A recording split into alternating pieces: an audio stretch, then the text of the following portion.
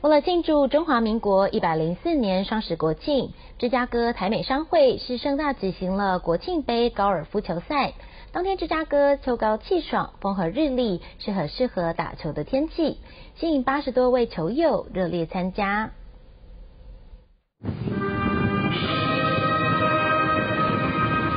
赛开打前，芝加哥台美商会会长陈聪能、前总会长许兆祥、江秋斌、前会长吴来苏、林瑞元，以及驻芝加哥办事处处长何振环、芝加哥侨教中心主任王伟正等人，在神剑球场一起高唱国歌与国旗歌，并举行升旗典礼。第一次参加活动的王伟赞主任肯定芝加哥台商以高球赛庆祝国庆的爱国行为。一开始的时候还有这个升旗典礼，啊，侨胞们都非常呃踊跃兴奋的在参加这次的活动，啊，而且今天风和日丽，在芝加哥是难得好天气。何振环处长表示，芝加哥台美商会举办国庆杯高球赛已经持续十多年，以运动健身展现爱国精神，令人敬佩。活动当然它本身还包括一个这个升旗的仪式啊。这样可以在让这个球场这边飘扬着我们中华民国的国旗啊。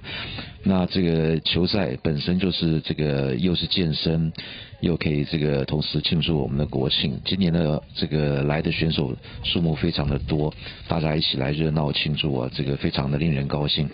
球赛开始后，插着中华民国国旗的球车在绿油油的球场上穿梭奔驰。国旗随风飘扬，场面壮观。何振环处长与陈聪能会长也分别为球赛开球，而使用的球还是前会长吴来苏特别定制、印有双十图案的国庆球。五个多小时赛程全部结束后，也举行颁奖参会，大家为自己完成比赛互相敬酒。陈松能会长表示，今年比赛与往年个人计分方式不同，采四人一组的团体赛成绩计分，强调的是团结合作。他感谢所有参赛者的支持，更谢谢工作人员的辛劳，以及赞助抽奖礼品的单位与个人。呃，我们今天有啊将近八十位的啊各方的朋友啊，有台湾来的朋友，有这个在本地的美国人一起来参加我们今天的盛会。